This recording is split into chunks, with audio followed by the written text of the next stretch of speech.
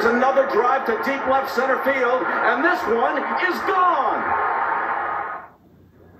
Let me say this get rich schemes don't work. Injecting stuff into your body to make you bigger, stronger, and faster usually has bad ramifications.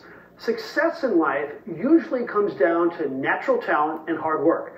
However, technology can help.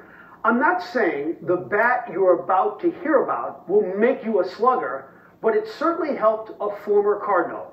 With the help of editor Randy Schwenken, we give you the story. This was Harrison Bader during the regular season. Five homers and almost 300 at bats. Then there was the postseason. Bader sends one deep into left field. In the playoffs, Bader hit five homers and 30 at bats and basically doubled his OPS. It may have happened because he was energized going back home to play.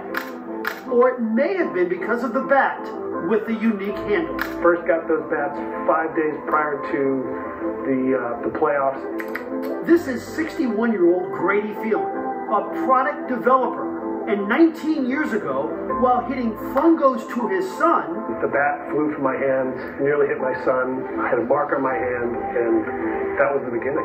so Phelan developed a bat with a handle that has never been seen before. It's an angled knob based on biomechanics, developed and patented in 2006 and called the Pro XR. A conventional bat knob, when a player grips it, they're here. But the relationship between the hand and the bat changes. As they swing through, they pronate their wrist, they move their wrist toward their pinky side, and the knob compresses into the palm.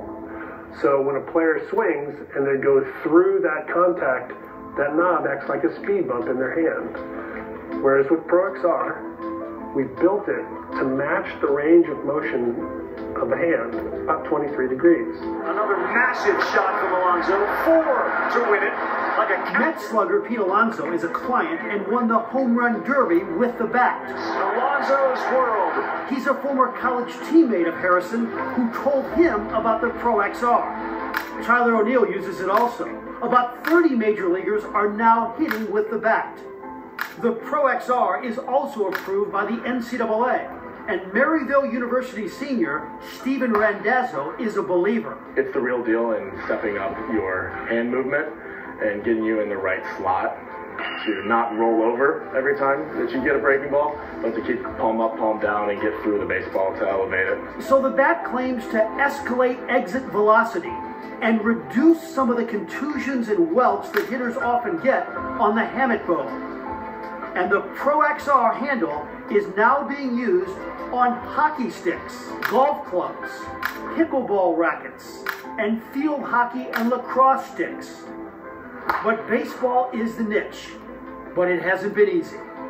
Baseball is so beholden to history and tradition, and changing the bat knob is something almost illegal in their mind. Why would you do that? Um, so getting guys to change something as, as intimate as how they hold a bat, that connection between their hand and the bat, it changes that feeling in their hand. So it is an uphill battle, but the data is what has been saving the day for us.